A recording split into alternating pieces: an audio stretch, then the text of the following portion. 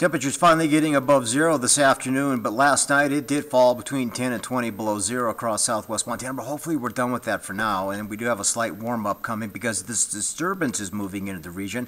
It is generating some areas of mountain snow and some blowing snow.